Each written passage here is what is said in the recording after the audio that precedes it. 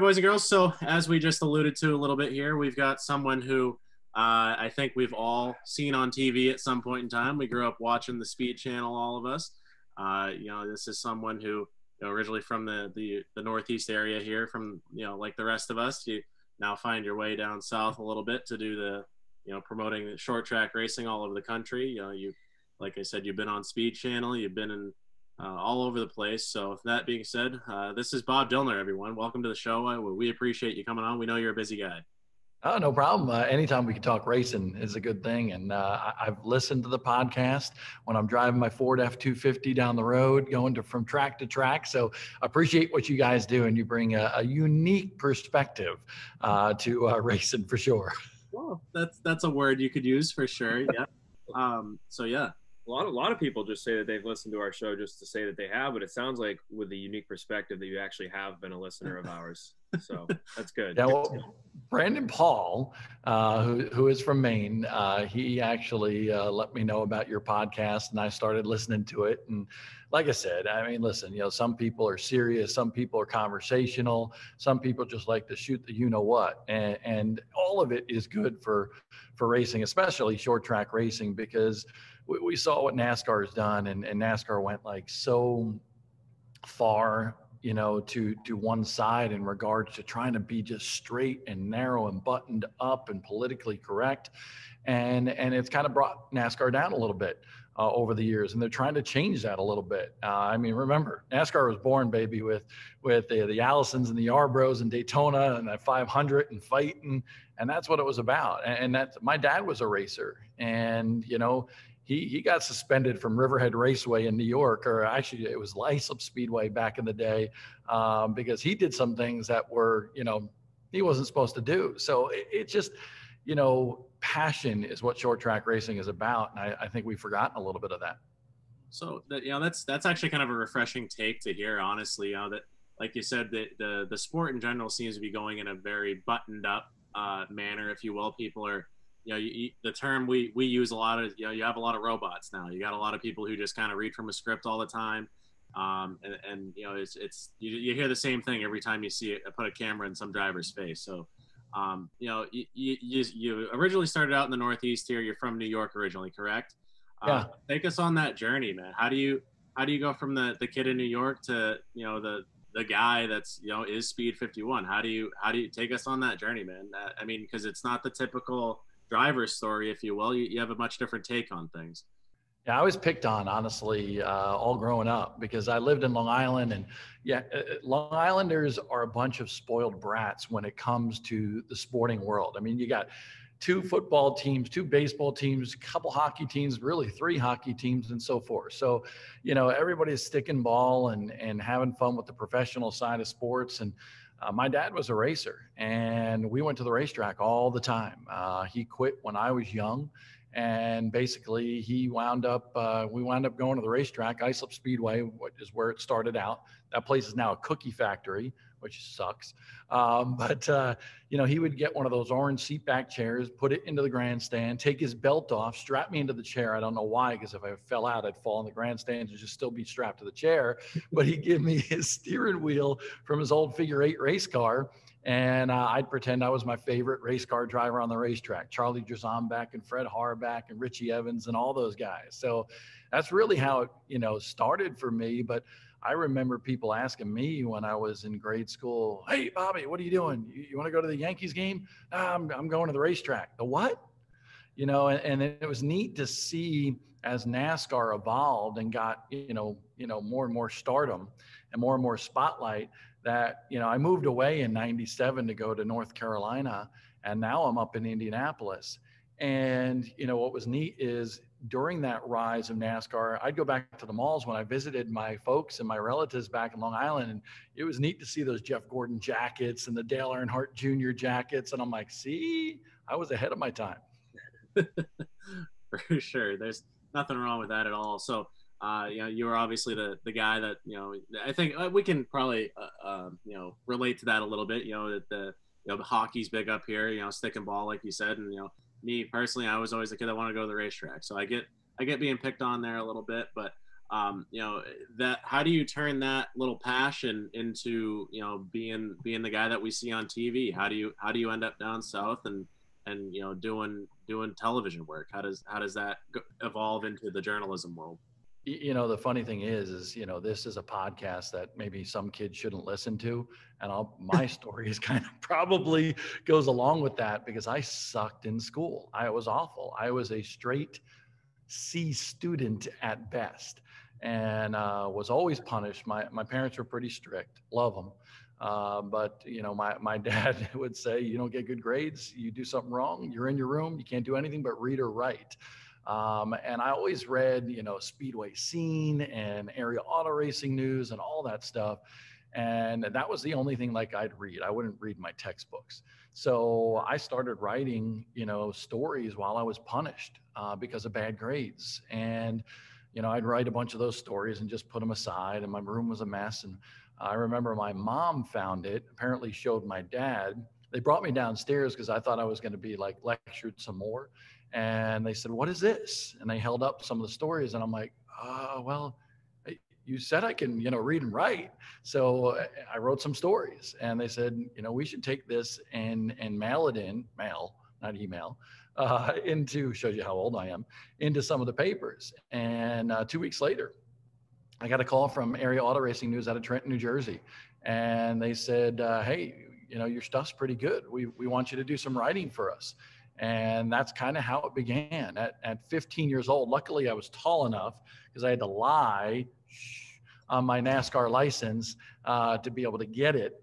And I was tall enough to get in the pits, get that NASCAR license. And, and that first year at, at Riverhead Raceway, um, I didn't know any better. I, I wasn't your, you know, prototypical journalist and I didn't know the rules. So I just wrote what was from my heart and, and what, you know people were talking about the hot topics. And uh, i remember i compared at riverhead raceway that year the purse that they had at that year to like 20 years ago and how pathetic it was. And you know you had inflation rates and all that stuff.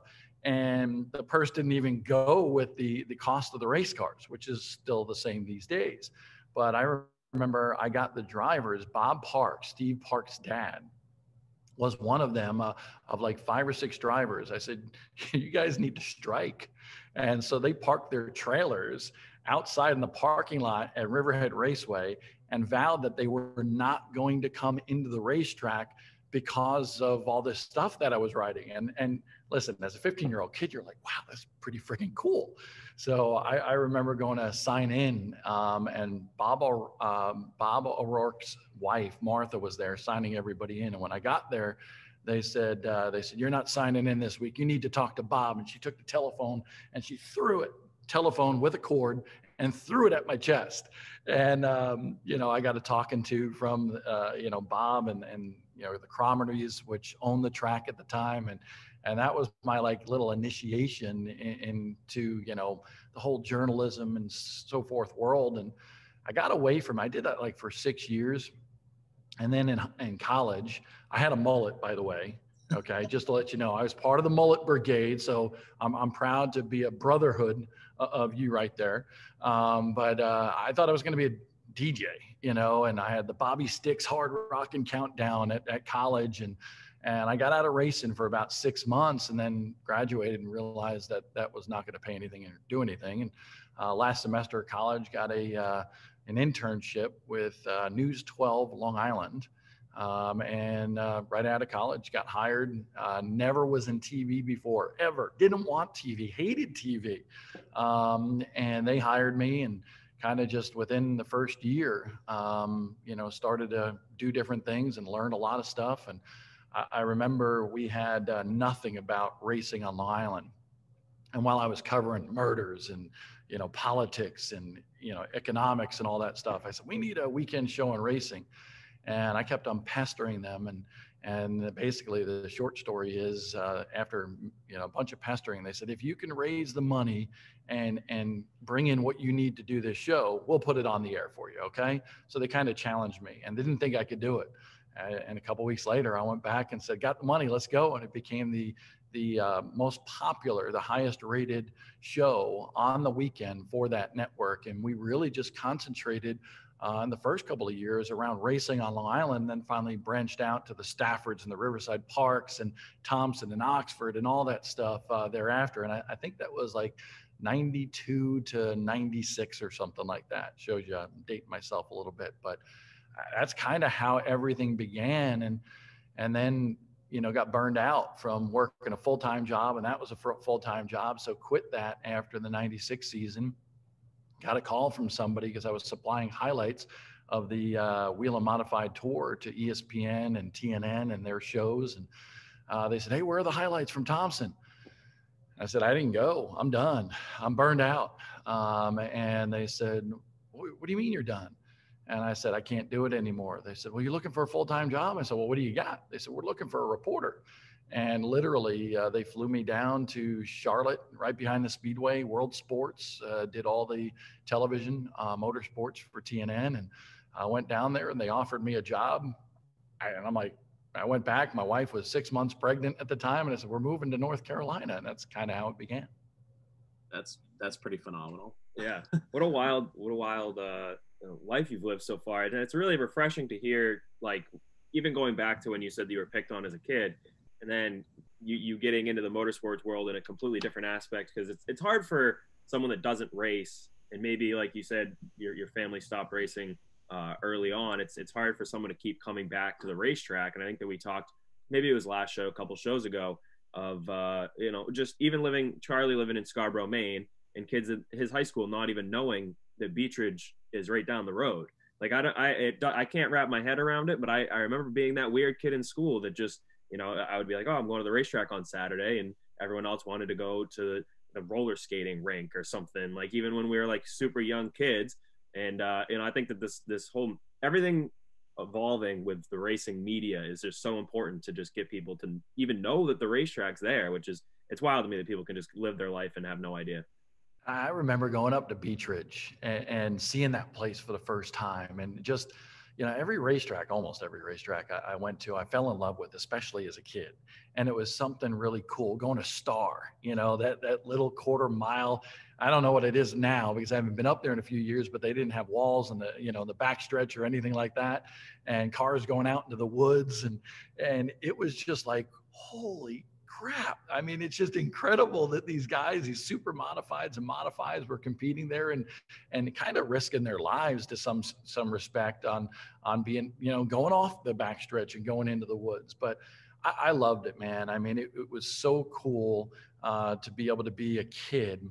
And when I got involved in the the writing side, the journalism side, I would go in the cube van with George Bernholzel and go up to Stafford Speedway or Joe Mamalito or Eddie DeHunt going up to Oswego and Ben Dodge's old race race team. And, you know, I remember, you know, we, we were done with Oswego and trying to get some fast food and we couldn't fit through the, um, the drive through of Burger King uh, with the box truck that he had and we wound up walking through the drive-through right outside of Oswego Speedway to try to get some whoppers after the races. You know, those are stories, you know, that that you know you just you know won't forget about. Or Joe Mamalito, you know, was a guy that that wouldn't stop going to the racetrack. So he had this funnel, okay, and and a hose that went outside the the truck. And if you had to go to the bathroom, guess what? Use the funnel. I respect that. I've had some trips like that. I would have definitely made someone go about it that way. But uh, yeah, it's just that every going to every racetrack is such a different experience for us being from Maine. I, I think we were lucky enough where Beechridge was on a condensed schedule this year and Charlie races every Saturday night. And it kind of allowed us to branch out and go to places we otherwise wouldn't have gone. And so a lot of people look at us funny when like we say that it was an experience just to go to Riverhead to get on that ferry from Connecticut and go all the way over. Like we, like I, I was, you know, we are exhausted. We, we might have partied the night before, allegedly, and uh, we, we only got an hour or two of sleep. And, and so then we're getting on the ferry, and I'm like, oh, I'm just gonna sleep it. I'm just gonna sleep throughout the whole trip. And and uh, Charlie's like, no, I think I'm gonna experience this. Like this is something wild to me. And, and we were lucky enough to hit about 50 tracks, or not 50 tracks, 50 events this year, like seven different states and you know really branch out. But it's just that experience like kind of brought out the little kid in me. I know that for sure. You know, you mentioned the ferry, and man, I used to do that Orient Point. I was on Long Island, so I'd always call it the Orient Point ferry, and to go up to Thompson or Oxford or whatever. And um, I remember one time, I think it was one of the banquets for the Whelen Modified Tour, the old Busch North series or something like that. And uh, we were coming back, and my brother was with me. And you know, the seas can be pretty rough where the sound meets the ocean there.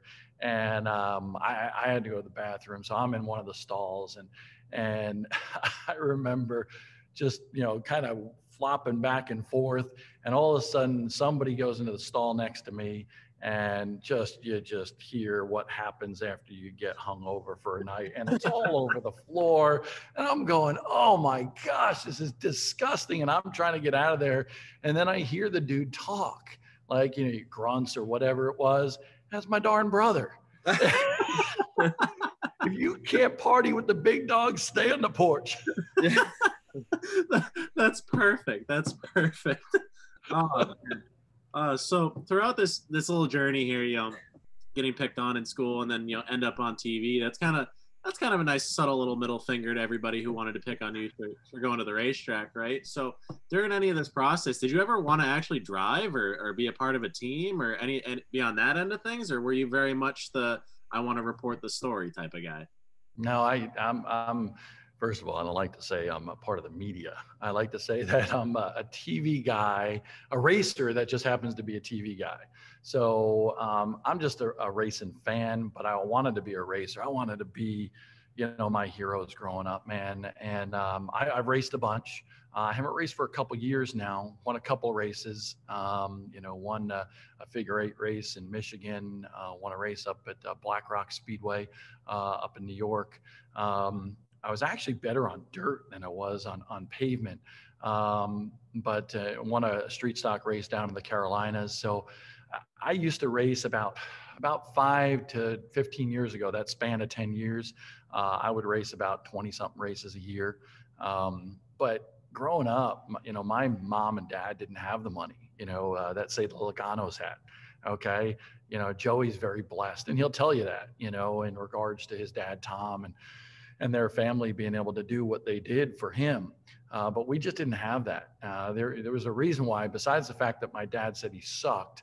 Uh, okay, well, he didn't have the money to race, and he's raising two kids, my brother Matthew, who's part of the Dale Jr. Download, and myself you know, and, and, and we could just afford to go to the racetrack. So I didn't get to start racing um, until I was in my, gosh, um, late 20s. And um, so a late bloomer, um, you know, they just, you know, they went to that youth movement and I was doing so well and they just didn't want like a 30 plus year old guy anymore because of the Logano's and stuff that were coming up the rank. So although I had so much potential, um, I kind of just stuck to the TV route. But no, it, I did. I, I, really wanted to be a racer, still do. I said, you know, when I'm 51, obviously 51 is an important number for me. Um, my dad was the number 51. That's where that whole thing kind of came from. Um, I said when I was 51, I am going to be the uh, the oldest rookie of the year somewhere in America in some sort of racing. I like that answer. That's it's funny you bring up the 51 because that's literally one of our questions here for you is why not why not speed 52? Why not speed 50? What you know where did where did that come from? You guys should start speed 52 because it would be you know one better than speed 51 right now.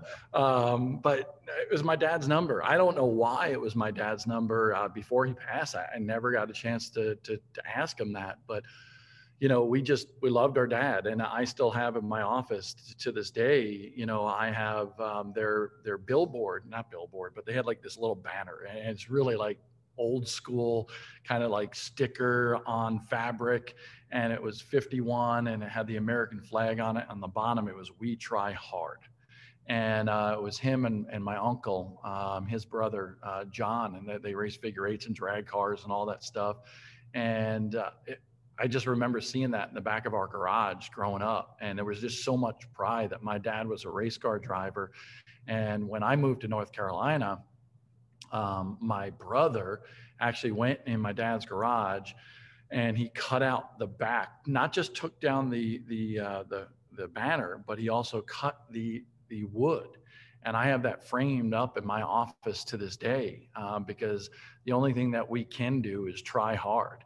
So everything that I did, you know, whether it was baseball or racing, uh, when I raced, um, every time I had the opportunity, I put, you know, 51 on it. And, you know, we tried when I, I remember having this conversation with Speed about uh, the website because originally it wasn't Speed 51.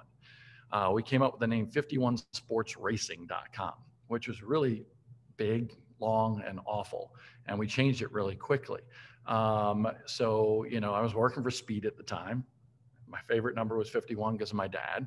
So we put it together in Speed 51. Um, we didn't really want it to be like, you know, loud pedal or, or, you know, the top groove or, or something like that. You know, uh, we just wanted something unique and we just kind of married those two things together from my life. And um, I mean, I, I miss Speed. You know, Speed was, uh, you know, a back to the bone network uh, with a lot of racing and now I'm with Mav TV, and and they're trying to create that, but minus the NASCAR side of things. So I love the fact that you know you got the Chili Bowl that I get to do, and dirt late models, and ARCA, and all sorts of stuff. So it, it's just I'm blessed, man. I'm just lucky, honestly. Um, a lot of other people could do uh, what I do. And I've been just fortunate enough to be able to meet the right people at the right time to get to do what I do. Well, it, it, sounds like you touched on it there a little bit. I mean, we got some events coming up here. It sounds like you know, the, the general gist of Speed 51. I, I, don't know if you want to tell us the exact mission statement, but you know, it, it's it's basically the the short track racing you know community on, on one little one little area, one little network in which you can you know watch you know whatever race that you can't be at you know throughout the entire country. So. Uh, we, we got the Chili Bowl coming up. We got Speed Weeks coming up. So you're gonna be down there. You get, what, what's what's the plan for Speed 51 throughout all that? Yeah, so uh, Speed 51 is doing a bunch of stuff. Uh, Speed Fest will be the you know first big event, right? Uh, so that'll be down now in Florida, uh, just announced yesterday. So Speed 51 will be there providing all the coverage, and uh, the week after that, we're on the dirt in, in Lakeview, South Carolina. Um, you know, we'll have tons of stuff ARCA Midwest Tour, CRA, Southern Super Series, Tri Track mods, ROC mods, all sorts of stuff all over the country. And, and Speed 51 will continue to do that. Um, you know, I, I, I love going down the snowball derby every year. That's where I met, you know, you guys. And uh, hopefully we'll see you down there again this coming year because that is, it just reminds me of the old race of champions back in the day um, at Pocono and Flemington um, you know, where you'd have it circled on your calendar all year long. And, and I remember going to Pocono and, you know, there'd be, you know, close to 100 modifieds there. And we would sleep in the back of my dad's pickup truck with a cap on it. And that, that Snowball Derby has that same feel. So Speed 51 is going to be involved with all that stuff. Um, Brandon Paul's really kind of heading all that stuff up now and you know um, you know it, it's kind of a deal where they do such a good job i I don't have to be involved with that. And that allows me to even do other things, uh, promote races, uh, to, you know, create different things within racing that add more exposure to short track racing and all my work with Mav TV and Lucas Oil. I mean, the Chili Bowl, dude, they, they asked me like three, four years ago when Dave Despain was retiring, they said, Hey, could you, could you do me a favor? Dave's retiring. Could you be the host for the Chili Bowl like Dave has been? And I'm like, what? I mean, like Dave Despain and Ken Squier and those guys, they're like my idols. And, and gosh, I still get, you know, chills to think that I get to be the host of the Chili Bowl live on MAV TV. I mean, that's something for a kid from Long Island that I, I never would have thought that I would be able to do. Um, so to do that, and and I'm now in love with dirt late model racing. And I know you don't have a lot of that up there, but listen, you ever want to come to a Lucas Oil Late Model Dirt Series show, you let me know and we'll get you in and we'll, we'll show you kind of a, a little bit of an old school approach. I mean, dude, they have three laps of practice, yep. three laps of time trials. They go right into heat races. That's it. Yep. Practice? There ain't no practice, like I, Allen Iverson said, you know. So uh, I, I, love it, and and we have the uh, the Florida Speed Weeks now because of COVID. The Georgia portion of Georgia Florida Speed Weeks was canceled, but uh, all that's going to be uh, live uh, on uh, you know some of it's live on Mav TV, some of it's live on their streaming platform, and I get to do all that. And I think we're doing like 12 or 14 races uh, in like 14 or 16 days, something like that. So uh, just try to stay primed, ready, hydrated, and uh, ready to go for the racing season. Looking forward to it for sure. Well, we're definitely going to be down there for Speed Weeks. We we don't really have a super concrete plan yet. We basically just have uh, uh tickets, and we're going to show up and see what happens. For the most part, I don't know where we're staying or anything yet, but um, it'd be cool to meet up with you at some point and see see what we can do. But uh, I mean, you've, you've touched a little bit on like the Chili Bowl and, and Speed Weeks and all that stuff. So, you know, throughout the country, you know, Speed 51 does a lot of things. You get to, you know, you're very fortunate to be able to go to a lot of these events. You know, what are some of the maybe the marquee events that are underrated or, you know, places that you should say, hey, you need to go to this, but you maybe have never heard of it? Well, it depends on what perspective. Are you looking for good racing? Are you looking to party? A combination of both? B, all of the above. Listen, anytime you can go to the Midwest, I'm telling you, nobody can party like the Midwesterners. Um, all of us, because I'm a native Northeasterner too, you know, we think we're good. we ain't got nothing on those people up from Wisconsin. I tell you that. So there's two races up in Wisconsin that I think if, if you're a short track racing fan, you just got to experience. And that's the Slinger Nationals, uh, quarter mile, mega high banking racetrack. Um, and that's always fun at Slinger Speedway in the middle of the summer. And then Oktoberfest at La Crosse Fairground Speedway in Wisconsin. It, I went up there one time. It was snowing. They were still racing in the snow, and then it was done, and everybody was over at the barn and up on tables and drinking and having a good time. Um, you know, I, I, think that's good. Winchester 400. I mean, that's a that's a big one there in Indiana in October. Um, 37 degrees of banking. Um, you don't have that in New England. So somebody needs to get there to see that at some point. Um, you know, and, and, then on the dirt, listen, I still haven't been to the World 100. Ooh, uh, that sucks. It's like on my bucket list, baby. And now that I'm up here in Indianapolis, you know, that's about mm, about an hour and a half away, uh, maybe two hours. So I'm hoping to get to that. But um, I, I, would say for like you know your area, um, Lucas Oil Speedway, and I know I sound like a you know a homebody, you know, because I do a lot of work with Lucas Oil and Mav TV. But that racetrack out in Wheatland, Missouri, it is the epitome of the field of dreams. There is nothing for miles, and I mean miles. Like like the nearest big town is like an hour away. It's a population of I think it grew to 386 last year for the town. It doesn't even have a stop light. It has a stop sign. Um, so that racetrack in the middle of this field and these the cattle and all that stuff pops up this just majestic racetrack that is just beautiful. And it, it is the field of dreams in dirt racing. And the show me 100 that they have there in may is fantastic. So you know i think you would be surprised if you, you ever got out there. They actually power wash power wash for a dirt track every square inch of concrete. They have a go kart track on site. They have a bar. They have a restaurant. The pits are paved. Um, that's just kind of like, you know, a little bit of a taste of what I get to experience because whenever I go somewhere, I try to hit a new racetrack. I'm up to 293 now. Um, and my boys from Speed 51, they asked me to count. I didn't even know like three years ago. So I did go and I was on a cross country flight. So I just got out the National Speedway directory and started counting. And so I'm, I'm climbing closer to that 300 mark. Well, we're, we're hot on your tails. I think we're probably at like 20 or 30, but yeah. we'll get there eventually. I know that. So for us, it's cool. Obviously the Oxford 250s every year, August now.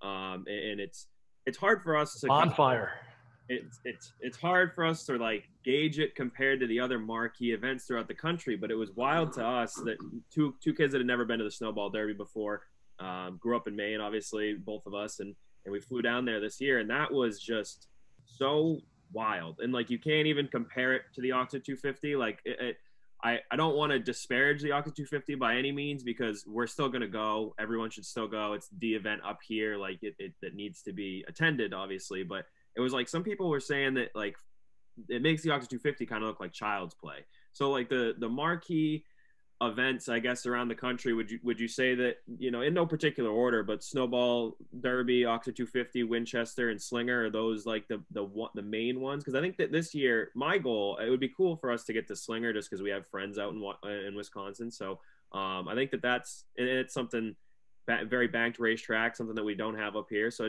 I'd like to go get around and start experiencing and getting closer to that 250 number that you just said. 293. Uh, but I rounded counting, right? I rounded uh, down to try to yeah, I, I, think I think you were right. You know, uh, Slinger, it's not a crown jewel. I, I, believe that there's only four crown jewels in super late model pavement racing, and, and you name three of them. You know, with Snowball, Oxford 250, and I think Oxford 250 is the big, biggest single day super late model race in the country. Snowball Derby, listen, it's the granddaddy of them all. It's perfect storm end of the year, Florida, come on. So, you know, then you have the Winchester 400 and the All American 400 at Nashville. His, history at that place, it's just kind of cool. It's got a charisma all to itself.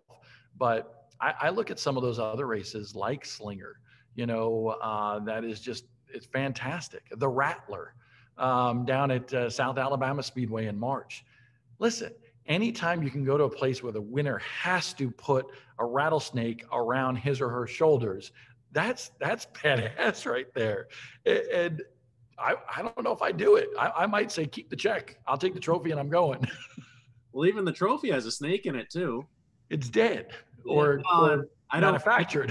I don't do snakes. That's like the one thing that makes like my dress blow up over my head and make me squeal a little bit. Like I, I just don't snake at all.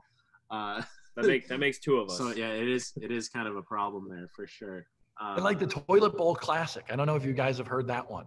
You know, we're just kind of getting into oddities, right? But the toilet bowl classic, I think it's uh, Tuckasegee Raceway or something like that. I think it's in Tennessee, and it's early. It's like in January, February, and and the winner, the trophy is a porcelain toilet, and the winner sits on the toilet in Victory Lane. Nothing wrong with that. I think I think that that's that's part of what makes um, you know particular things an event though. That's what makes it the destination. You know yeah i mean you touched on a little bit ago. You, you got the world 100 you know the world 100 trophy has a globe in it.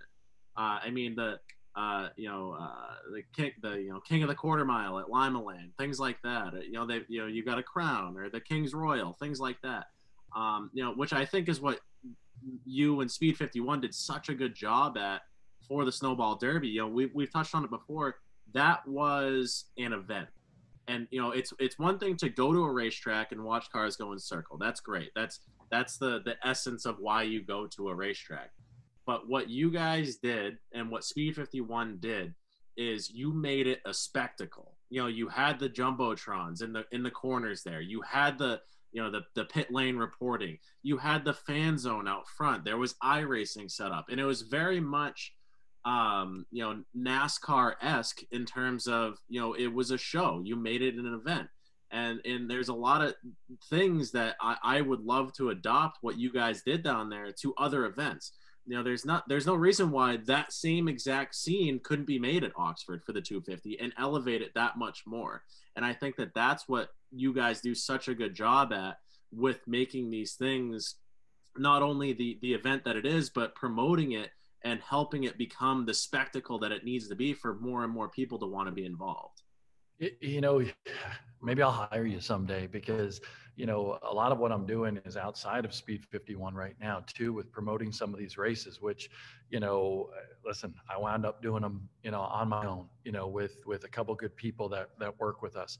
And we want to just do different stuff. I remember watching you know uh, the Joie Chitwood Thrill Show uh, at Islip when I was growing up, and I loved twice a year they would come, and it was just something a little bit different, or some BMX bikers that would flip, or you know a concert, or just something fun. And, and I think you know from the pavement side of things, because dirt still got it. Dirt's got it pavement people don't get it right now. And I know a lot of pavement people are going to be mad at me. Dirt is so much better than pavement right now, both from the racing standpoint as well as the show that they put on. And they kind of go hand in hand. But I think since ASA left, since some of the history in regards to some of the racing, even um, whether it's New England or the rest of the country, some of the pavement races have lost that flair in okay now it's high dollar and it's it's got to be regimented in rules and this and that. Some not greg mccarnes listen stafford they do a great job down there. You know some promoters actually get it some don't. And I, I think we really need to bring a lot of that back. I, will tell you one of my ultimate goals in racing is uh, you know, and, and we're getting closer and closer. Uh, I, I, would love to see a national super late model series come back like the old American Speed Association. Um, you know, it had national TV coverage. It had, you know, it was like the circus was coming to town when ASA would show up, whether it was Cedar Rapids, Iowa, or Montgomery, Alabama, or wherever it, it was. It had your mega stars, your Mike Eddys and your Bob Sennekers and your Dick Trickles and so forth.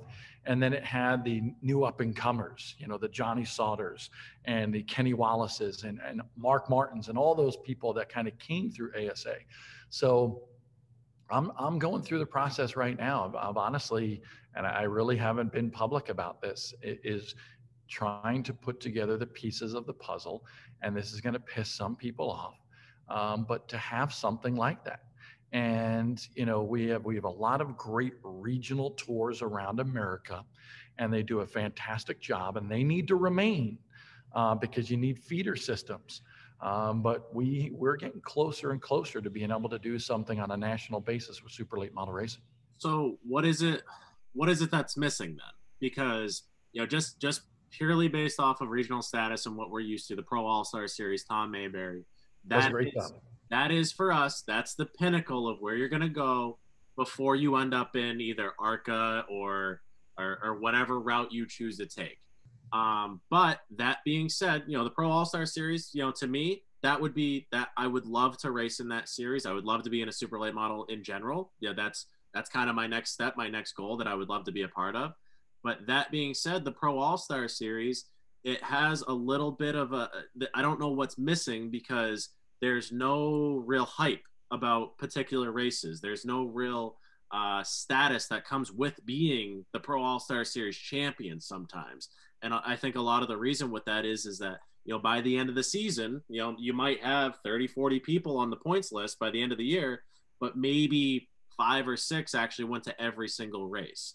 So is it is it a money issue that you think that w- is holding back what you're talking about, creating a national series where people can you know that that work nine to five or whatever but still have a race team on the side? Is that what's holding people back from being able to do this cross country national tour? You know what's the missing link here? Number one tom mayberry doesn't get enough credit for what he does. Uh, he is one of the hardest working guys that i know in the business and, and he, he rules with an iron fist and he gets criticized for that a lot but i promoted races with tom and uh, you know, back in 2006 when Pass South started, he and I put that together. And you know, I, I love Tom, and you know, I don't know why people beat up on him because I always say, listen, if you're gonna you know beat up on him, why don't you start your own damn deal and find out what it's like to have the risk of all the money. So people got to stop beating up on Tom Mayberry because he does such a good job for for New England. Um, but I think it's going to take what Tom Mayberry does um, from a racing standpoint and add to it a little bit of, of, of flair if you're going to make a, a national deal, much like the American Speed Association. And what you said, it's going to take money because you need to have that bonus program. You need to have the points fund. You need to have what ASA had is you knew 10, 12, 15 drivers would show up because those are the national drivers. And then you would have the regional or local guys that would actually go in there and be part of the deal as well. And now you got a field of 30, 40 race car drivers and, and you got like, you know, regional wars and, and, you know, you're not coming into my racetrack and taking me down and I'm a national guy and I'm going to come and whoop your butt, you know? So there was that charisma to it, that only happens if you have a good bonus plan in play to make those national guys come. I mean, these tires aren't going to pay for themselves. You know, Hoosier's got the monopoly on everything right now, and to quite honestly, they're like the, the the one of the only ones making a lot of money in racing right now, no matter what the economy is. All right, so um, people like Hoosier you know, need to step up a little bit more, put more money back into things, hopefully, you know, on the regional level as well as a national level if we ever get there, uh, and then make it an, uh, an event, you know, uh, make it where people want to come and camp. They want to come and have a good time. Maybe there's a concert. Um, there's just different stuff going around. I think the snowball derby, the bonfire at the Oxford 250, those sort of little things just add to the ambiance. But we need more of that. So I think it's a combination. And and listen, what is going to drive things is helping these racers to a certain degree. You don't want to cater to the racers because I agree with what Tom Mayberry did. You do you cater to a racer, then you're going to open up a Pandora's box that you're never going to be able to close. But you come up with a good set of rules and, and, you listen to what they need in regards to schedules and so forth, and you really work with them and make them feel that, and they would be part of what you're doing. And I, I, Bubba Pollard's a good buddy of mine, and we talk a lot about that. And um, you know, I, I think it's going to take, without you know, um, revealing the entire deck of cards, um, it's going to take a whole big concerted effort of a big sponsor, uh, which will provide the money that you need for what you got to do with that tour. Go to the right places and and have it spread out and not just regionalized. And don't come back with the national tour more than once per year to the same racetrack. And national television coverage. That's important too.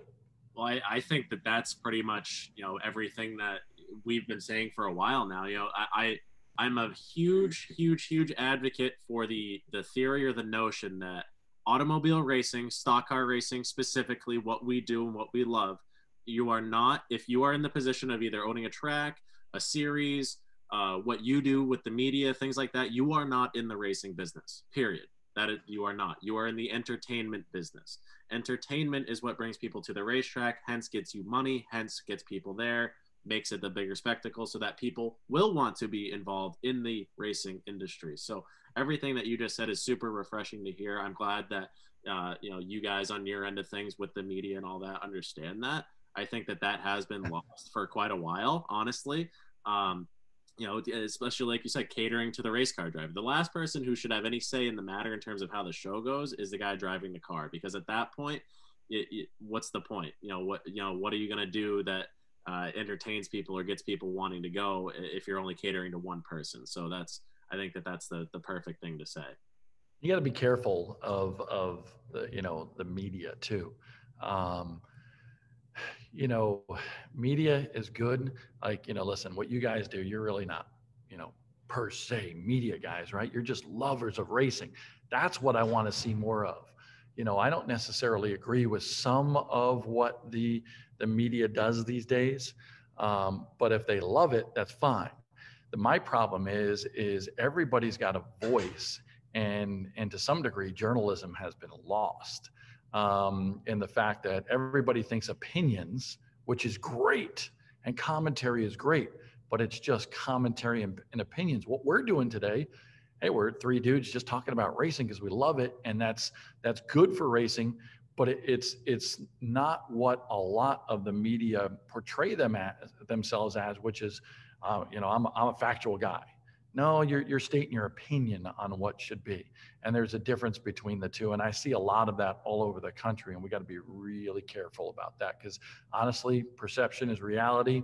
And sometimes when we we shout out all these opinions, uh, they become fact somehow and and it's the way it's delivered and and that's something that's really got to change and i've talked to a lot of the industry people about that including the promoters and stuff and and trust me they're very frustrated with it. Do you think that the the battle to be first sometimes uh, in in terms of uh, you know promoting and uh, uh, you know getting the word out that that, that maybe is a, a hindrance upon you know what we're seeing with the media?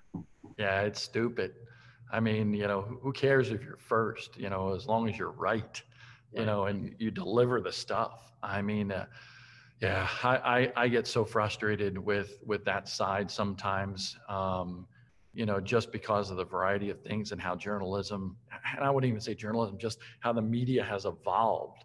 You know, it, it's, it's instant, you know, I mean, social media is great. Social media sucks as well sometimes um, and you know everybody mouthing off um, you know, I know a lot of tracks and series that put some stuff into play, and you're familiar with some of them. You know, if you say something, guess what? You might not be able to get into the racetrack. And, and it's only to try to protect certain things, you know, because sometimes what you say about a track or a series, you know, can really have big dividends on whether a new fan comes to the racetrack if they see that. And I think people don't understand when they open their mouth, they should probably, and I do this a lot. I'll get mad on social media and I'll type the darn thing out and I'll go, hmm, should I do that? What is my wife or my mom going to say about that? you know, and then I erase it. Um, and some people should probably take that 24 hour rule. And if they still feel that way in 24 hours and they want to go and put that out in social media, by golly, go and do it. Uh, but uh, to do it, right?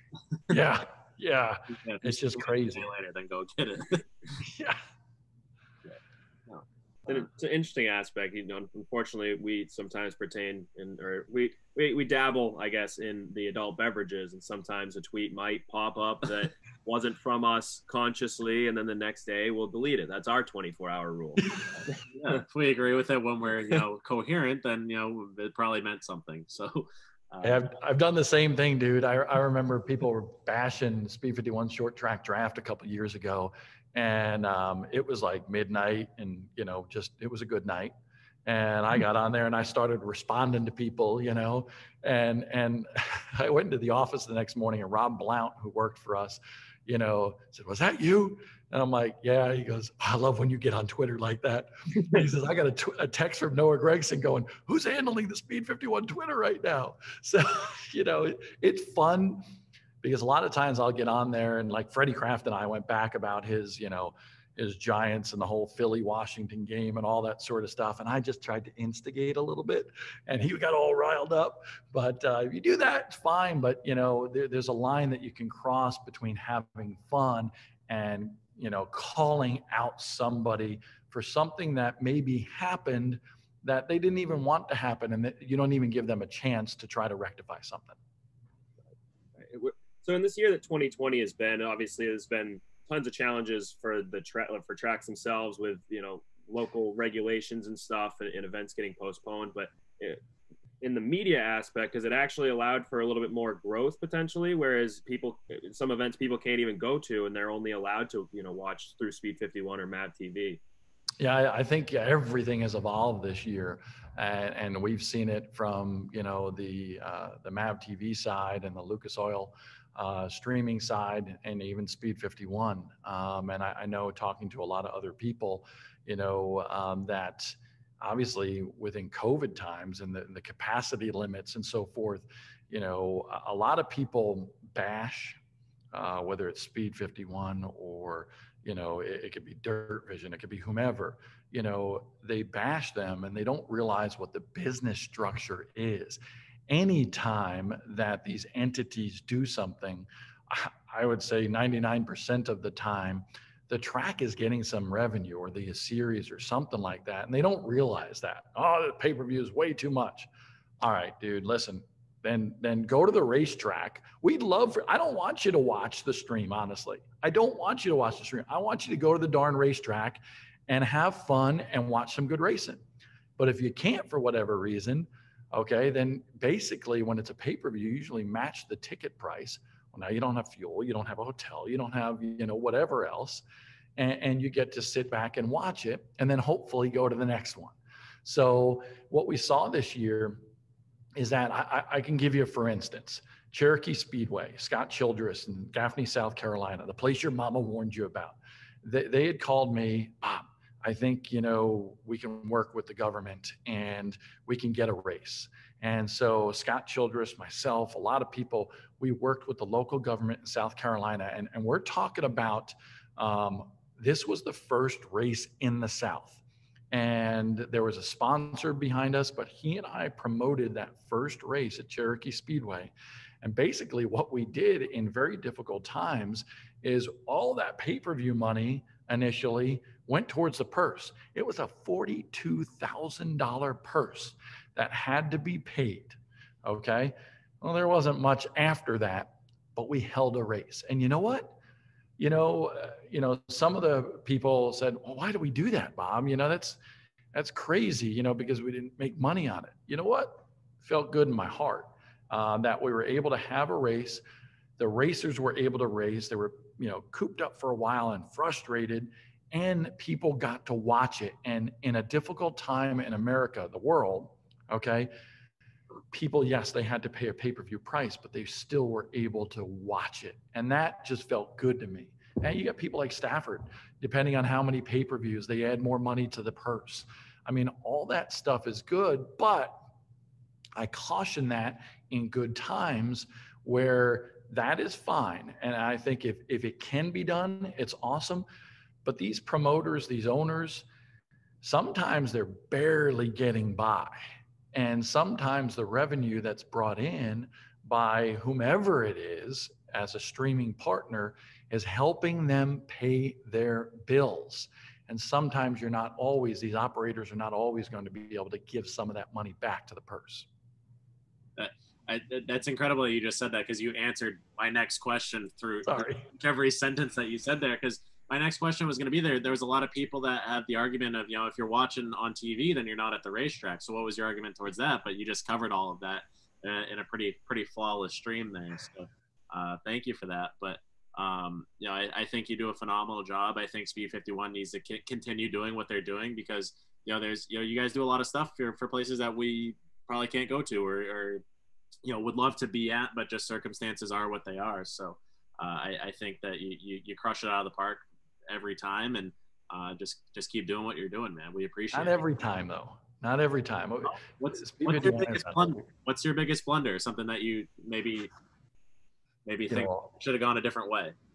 A lot of those streaming, you know, side of things has evolved over time, and I think that's something that. Uh, you know, at least according to the Speed 51 side of things, there have been a lot of blunders in regards to drop streams or bad quality or whatever it may be. And and I can tell you what, uh, from the that side of things, it, it's never because of a lack of effort. And we've done a lot of stuff behind the scenes to help people that have had trouble, and people don't understand that. But um, those, those streams and the drops and the evolution on how to do it um, you know, has, especially in some of these remote areas, has been an embarrassment to myself, uh, to Speed 51 as a company. And I know, you know, things are being, you know, done right now to ensure that uh, new technology, um, new investments for them and and from the Lucas Oil side as well. You know, new things have been you know going forth there uh, to be able to ensure that people can get these streams if they're paying the subscription or the pay per view, that they'll continue to be able to watch it. Because I tell you what, social media that needle goes crazy when the stream drops, and I get it. I, I've been there. I've gotten frustrated before, and I've been part of it and home and watching and i've been frustrating. What the heck's going on? So um, I understand it, um, and you know I can tell you that no matter who it is, it could be Dirt Vision, it could be Flow, it could be the Lucas Oil folks or Speed 51. No matter who it is, uh, they work hard to make sure that they get the stream. But people have to understand how difficult it is sometimes in some of these rural geographic areas if only they took that 24 hour rule and you know implemented that during that i think that you'd probably be able to figure out that stream within 24 hours and they would have been you know it would have been fine. It would have never that tweet would have never been out into the airwaves.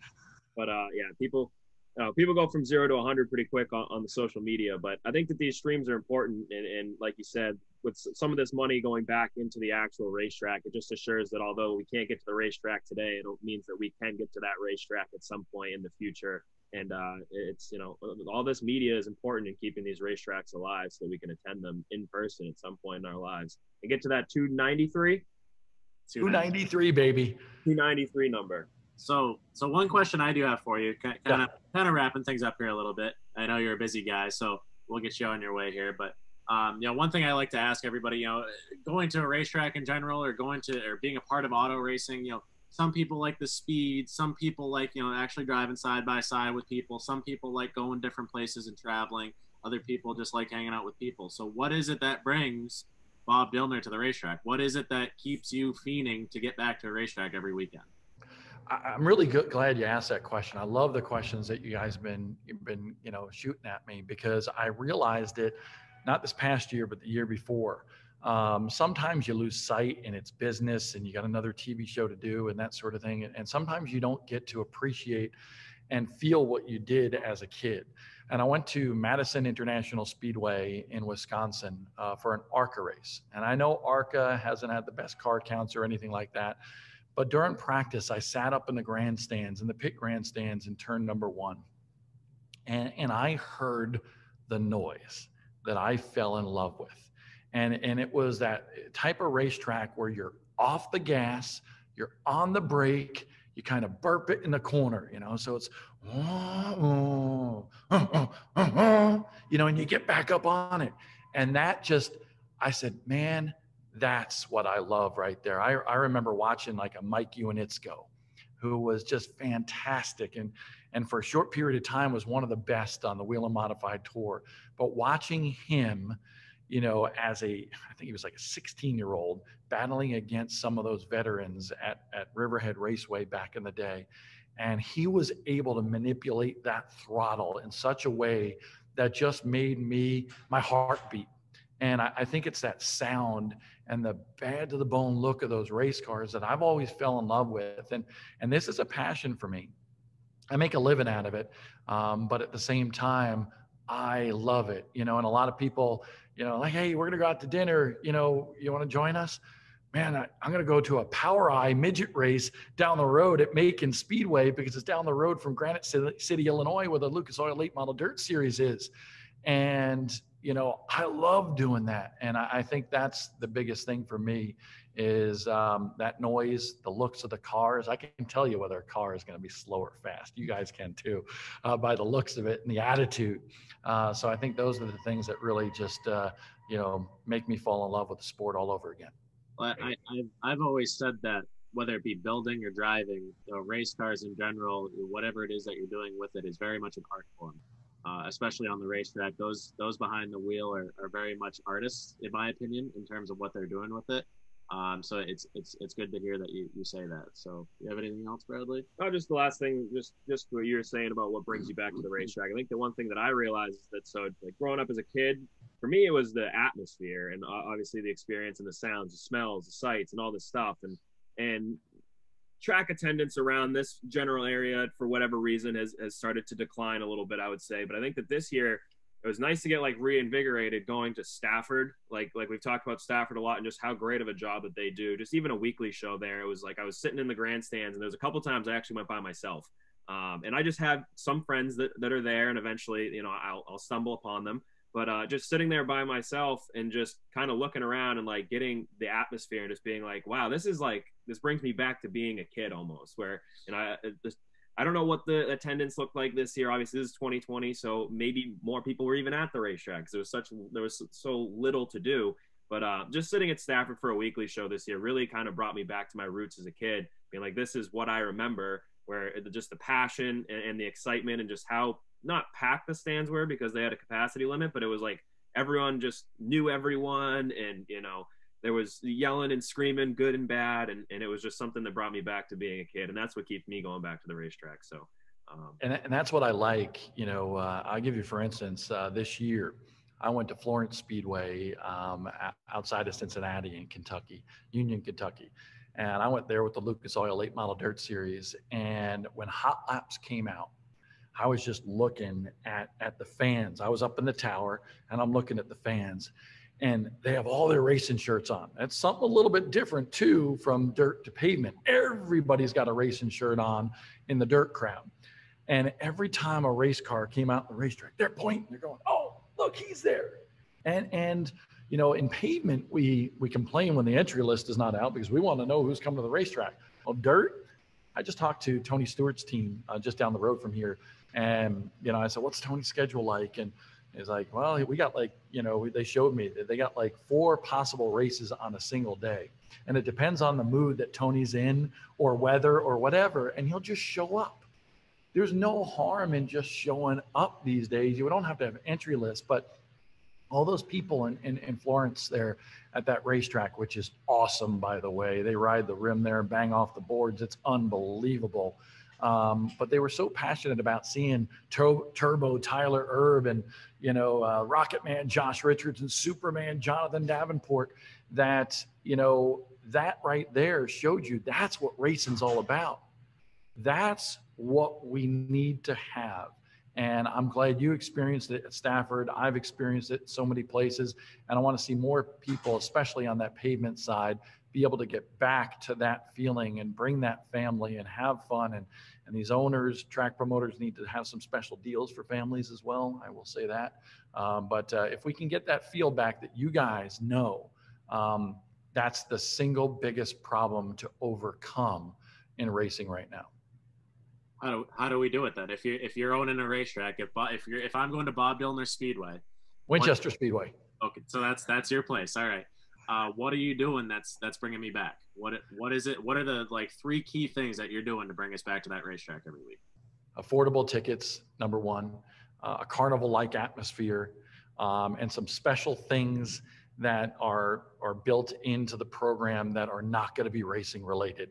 That can like for the winchester 400 uh, we brought in some amusement rides all right. So we put the fun slide up, uh, we put a rock climbing wall, um, and we had a couple other things that were just fun things for people. I mean, we had adults going down the fun slide. Okay.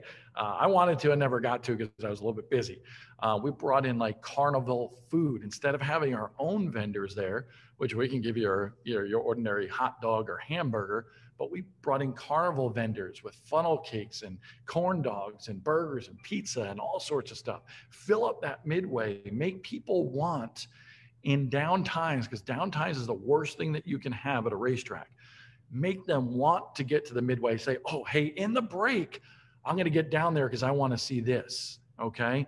Have music pumping, you know, that, that kept people excited, you know, whether it's just in a downtime or prior to the races, or, you know, I went to the Lucas Oil Off Road Racing Series a few years ago and they had Welcome to the Jungle playing as the Pro 4 class came to the green flag.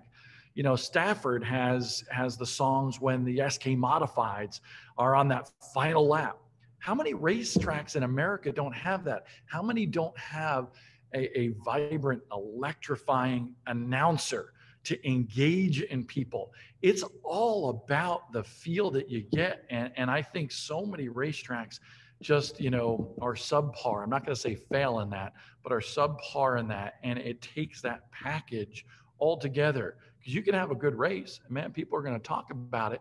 But if they had downtime and if your program ran to like, you know, 12, 1 o'clock in the morning, that sucks. And, and families aren't going to do that. I can tell you as a father of five, um, and I've stayed at certain racetracks, which I won't name, until one o'clock in the morning. And then my kids were ornery the next day getting up, and it wasn't worth staying until that late at night. That's the that's the perfect answer, honestly. I think I think filling the filling the downtime, like you said, and making it a show. I mean, you said the announcers when we were at the Snowball Derby I, I am not one for single car qualifying. I just am not. But that was a show. It was a spectacle, and 99% of that was probably the announcer keeping me up on my seat with what was going on and keeping me informed and entertained the whole time. So um, I think I think you're just you're one of the few that gets it, which is it's good because we need that, especially with someone in your position. So Hey, do you like how Robbie Harvey is who you're talking about down at Five Flags? And, you know, Stephen Nasse on the inside, on the inside, on the inside, contact, contact, contact. Yeah. Yes, yes, that exactly. Yeah, we, are we're very familiar with uh, uh, uh, Marco for Marco Thomas for oh, the yes. for All Star Series. He, he's a legend around here. Uh, Hold on. Boston, uh, one of my all-time favorite humans for sure. He he's been on the show before. He's phenomenal. Um, you know, it, there's it's an art form. Again, it's another art form to what is at the racetrack. I, I love Marco because he says, Travis Benjamin. we, we got Dillner to do a Marco impression. His his delivery of just the even just a simple like DJ Shaw, DJ Shaw, like it, Shaw in the 60 machine. it, just his presentation was so perfect, and it was something that it, honestly, like you'd look forward to at the race. Like you'd go to the Oxford 250 and you just want to hear Marco just calling anything, heat races, whatever. Hey, is it Austin or Adam that's at Star Speedway? Uh, the announcer there? Because he's good too. Tyler. It's Tyler. It's Tyler Morris now. Okay, Tyler Morris. Uh, We were watching, you know, like a four cylinder class, and some guy goes, you know, he's like, ah, here goes, you know, John Smith off the track, and oh, he's got a tree. That sounds about right. Yeah, there's Yeah. still no wall back there. If, if- okay, okay. Thank you for answering that. Yeah. If you can leave the racetrack with a soundbite, like the whole time it, we're we're down at Florida, right? We're all going contact, contact, contact. Like that's just what we were saying because you heard it a hundred times. But if you can leave the racetrack with a soundbite and knowing you had a good time, I think that that's that's key. Yeah, and I, I go back to, you know, you talk about announcers, they're so important. James Essex has got such a cadence with the Lucas Oil Late Model Dirt Series. People mimic him because he'll go, Oh my, oh my, the caution is out. The caution is out. Bishop Brandon Sheppard. And he's got such a rhythm to his voice that it just engages you. Um, and, and you know something special is going on. So I, I just love listening to all those guys. Even when the World of Outlaws come out, you know what they're gonna say before the race starts. You know, every everybody's up on their feet. You know, saying exactly what it is. You know, you wanted the best, you got them four abreast, and everybody's yelling it. It's a scene, and it's it's all it all just kind of wraps back into it's a show. You got to make it a show. You got to keep people interested. You got to you got to make it a spectacle. Hey, one of my favorite lines, I, I did the American Sprint Car Series a couple years ago, and Brian Holbert is the announcer for the ASCS series. And he does something prior to the green flag that's pretty cool. He, he, he, told me the first time, he goes, Hey, you know, with a lap to go, it's mine. All right, dude, that's less I have to talk. No problem, right? So, so it, it coming off the fourth turn, he does something with, you know, whatever. And he goes, This is what you saved your lunch money for. I loved it. Love Yeah. that. Yeah. Yeah. I mean, Everyone's got their own little unique thing that that you know is Yeah. is theirs, I guess, and that's his. well, what, whatever you make your own niche, that's that's important in, in in terms of not only brand identity but keeping people interested. Like I said, you can't harp that point enough. Where you know if, if people aren't interested, they're not going to come back. If they're not coming back, then you're not going to have a racetrack, and that's that's really key. And I, I think, like I said, you know, you guys do a phenomenal job at that. You you specifically also do a job, you know, that uh, you know like no other. And I think there's a reason why you know we're, we're not trying to date you by any means but there's a reason why we always used to watch you on tv and you know we still keep coming back and, and paying for those pay-per-views if we can't make the actual show so uh, thank you for all that you do i mean that's I th- this has been incredible i think this has been one of our better shows for sure so uh, thank you for giving us your time and we know you're a busy guy No problem. Yeah, keep up the good work too. I mean, uh, I appreciate you guys having that passion, and I can see it in your eyes. I can hear it in your voice, and uh, we all need to work together on that. So uh, just keep up the good work, and I'll keep on listening to the podcast. well, we appreciate it uh, anybody trying to find you how do they find you on the socials Uh, Twitter is really where I'm at. I'm on Facebook and Instagram and all that stuff too, but I really don't interact. Uh, so Twitter at Bob Dillner, and that's two L's. And uh, excited about going to the Chili Bowl again. I'll be there in the desk looking at 300 something race cars behind me, and then off to uh, Florida Speed Weeks with the Lucas Oil Late Model Dirt Series with uh, all those races and all those stars. Man, I can't wait to get the season started. sounds good man hopefully we'll see you down there in a few weeks and uh, you have a you have a good rest of your day appreciate it Hey, East Bay, you gotta come to the clay by the bay. I'll invite you. Just give me a call or something. i can do that sounds good we'll see you down there Race car, race car, here we go, race car.